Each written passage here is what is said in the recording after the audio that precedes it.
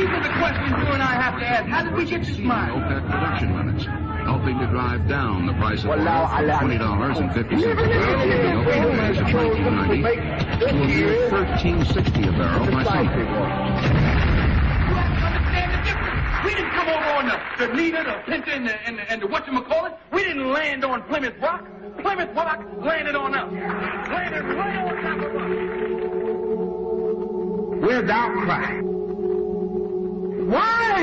You can get all the film and the footage of all the carnage in Los Angeles, but you can show me no footage of any damage in, in Iraq. And all you show me is some surgical strike. Now, one year later, it comes out that these so-called surgical strikes will make sense.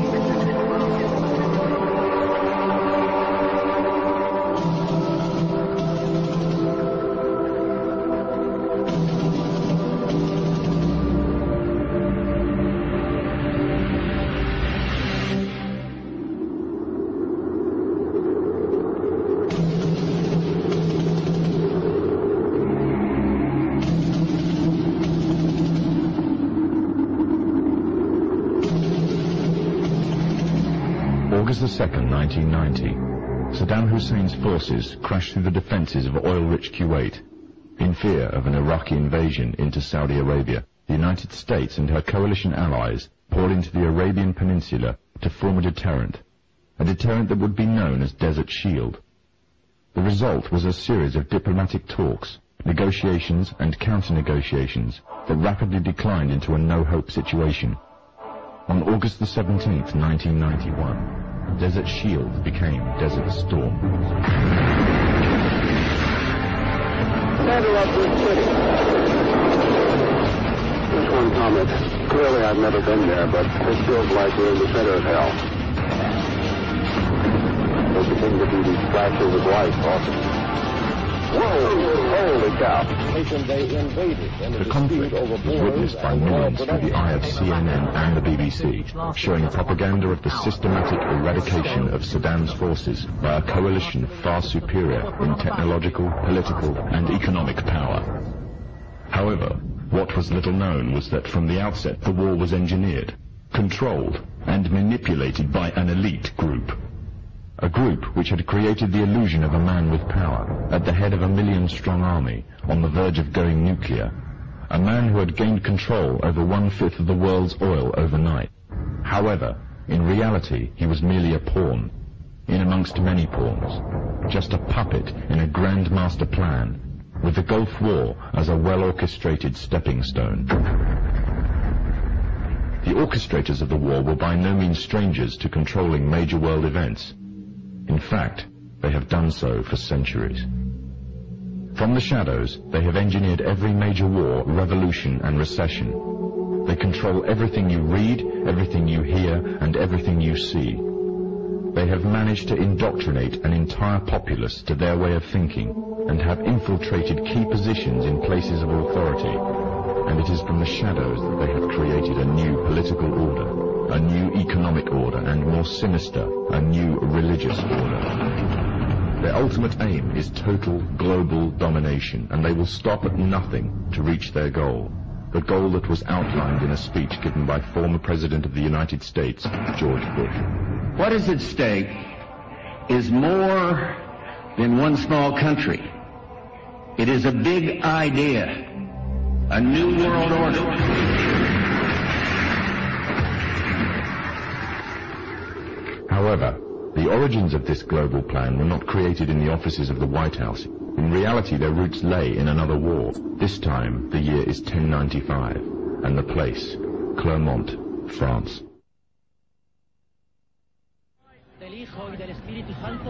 11th century Europe was ruled by the Church which held a firm grip on the hearts and minds of the people. This power enabled Pope Urban II to wage war on the Muslim Caliphate and crusade in what he called a War of the Cross to recapture the land of Jerusalem. It had been under Muslim rule since the year 637, but in 1099 this rule was brought to a bloody and sudden end. In the name of the cross, women were raped and murdered. Children were put to the sword, and it is said that blood ran in the streets knee-high to the horses. Out of this land of bloodshed and terror, a group of men arose. Men that would stop at nothing to get what they wanted, no matter what the cost. Twenty years after Jerusalem was taken, the Dome of the Rock was seized by a group of warrior monks calling themselves the Knights of the Temple of Solomon, or more simply, the Knights Templars. In Jerusalem, the Templars began to deviate further and further away from the practices of Christianity. They learnt the secret arts of the Kabbalah, an ancient form of Jewish magic, along with its dark rites and rituals. The Jews had learnt the arts from the pagans of ancient Egypt during the times of enslavement to the Pharaoh and developed them into Babylon at the time of Nebuchadnezzar. In 1307, King Philip of France arrested them for charges of denial of Christ, homosexuality, and idol worship as well as magic.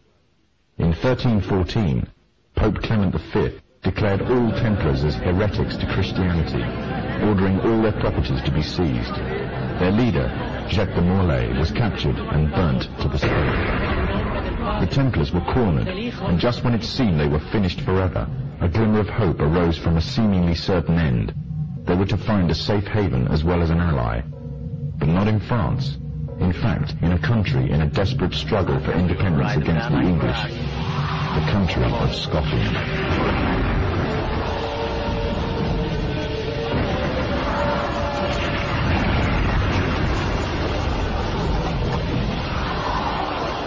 Some, Scotland's hope of independence had died with the death of William Wallace.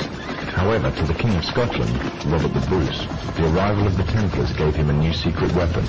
Their experience, gained over 200 years of fighting the mighty armies of Islam, had made them expert in combat and warfare, and more than a match for any army brought before them.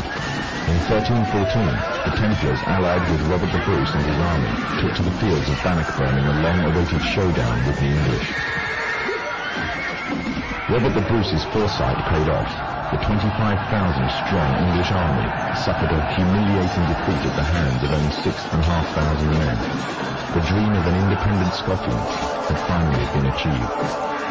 The Templars had brought themselves back from the brink of destruction and never again would they allow themselves to be destroyed.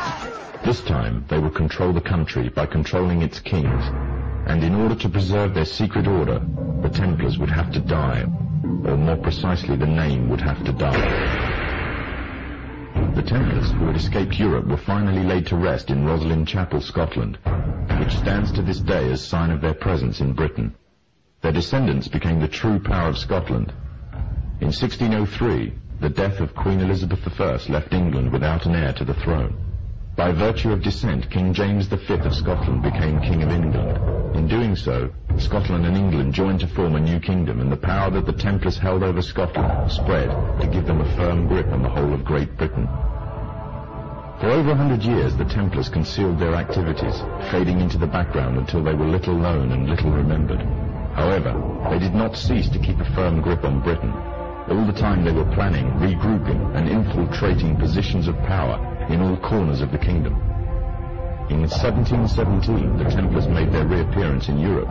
They had grown in both number and strength, and were now ready to coin a new identity, free from their reputation of the past, and given credibility by none other than the monarchy and aristocracy of England. And the name they chose for themselves was a name that would be known by many, but understood by a few. This new name, the Freemasons. The new identity and the grandeur of its members afforded the Masons with respect and dignity.